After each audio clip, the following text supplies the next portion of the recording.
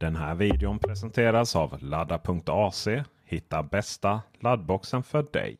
Macrent, din fullservice-leverantör med Sveriges största Apple-lager. Samt Kempower, laddinfrastruktur för elbil, lastbil och båt. Den här videon presenteras också av Facebooks. En svensk laddbox utvecklad och tillverkad i Sverige. Hej och hjärtligt välkomna! Peter Esse här. När jag gjorde min video om att vi inte behövde vara oroliga för bilens högvoltsbatteri, att det skulle ta slut för vi laddar mobiltelefonerna, så fick jag två kommentarer. Nummer ett var, men alla uttag och system och allting går ju från bilens 12 volts batteri och inte högvoltsbatteriet. Och det är ju mycket riktigt så, men i moderna elbilar så är inte det någonting vi behöver tänka på i diesel och bensin och fossilbilar, då laddas ju 12 volts batteriet av att motorn är igång. Och det kan inte ladda upp den när den står still utan att motorn är igång. Så där fick vi verkligen förhålla oss till att om 12 volts batteriet tar slut så får vi liksom ut och köra en bit för att ladda upp det. Men elbilar är ju smartare än så, i alla fall moderna elbilar. Och moderna elbilar laddar upp 12 volts batteriet när det behövs. Oavsett om bilen står still, ute och kör eller till och med helt i viloläge. Det sistnämnda det gäller bara vissa elbilar. Eh, utan många av dem kan bara ladda 12-voltsbatteriet när de är aktiva. Även om de inte är ute och kör så måste de vara aktiva. Och Även då så är det ju lite så här att Ja, fast 12-voltsbatteriet dräneras ju inte om bilen är i vila. Så Därför så är det inget problem. Och är bilen igång så kommer också 12 volts batteriet laddas av bilens högvoltsbatteri när det behövs, även om vi inte kör. Enkelt va? Men så kom det en annan fråga. Och det var, mitt problem är inte att jag är rädd att batterierna ska ta slut. Mitt problem är att jag inte har aktivt ström i bilen när den är nere i vila. Och det är ju det som den här kylboxen handlar om. För det vi får göra för att få ström, det är ju att inte, då kan vi inte använda, vi har inget interiörsuttag för 230 volts varianten. Utan vi får använda 12 volts varianten. Det finns också vissa bilar har lite fördröjning, men på den här Xpeng-bilen så, så fort vi låser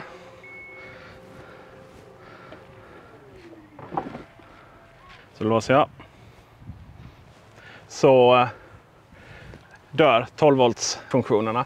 Så skärmen går ner, alla uttag, allting eh, slutar fungera.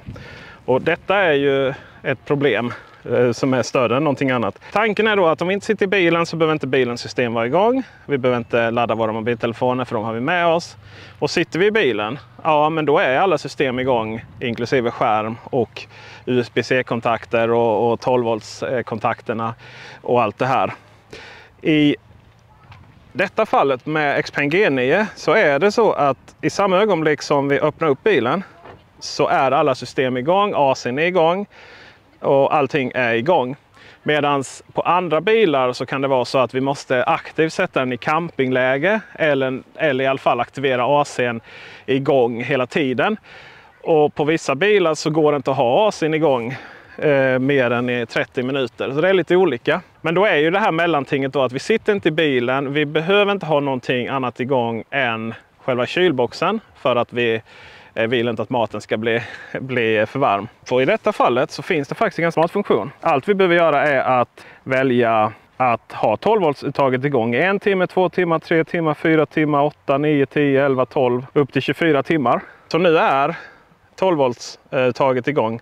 Eh, och då eh, kan vi också anta att reläerna mellan eh, högvoltsbatteriet och 12-voltsbatteriet är, igång, är kopplade till varandra så att högvoltsbatteriet kan ladda upp 12-voltsbatteriet. För, för vi kan dra ut 12-voltsbatteriet genom att ha igång 12-voltsuttaget och ha något inkopplat där i så många timmar. Det är faktiskt inte så många bilar jag har sett den här manuella hanteringen för.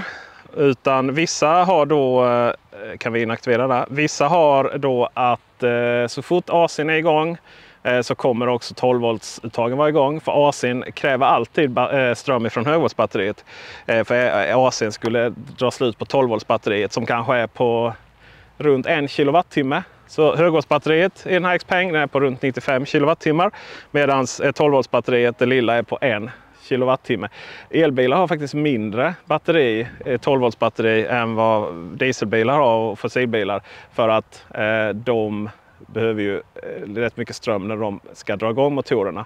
Medan vi eh, elbilarna har inte det problemet för där kommer all ström från högvoltsbatteriet. Och har du en bil som du bara kan ha igång parkeringsklimatiseringen i en halvtimme eller en timme.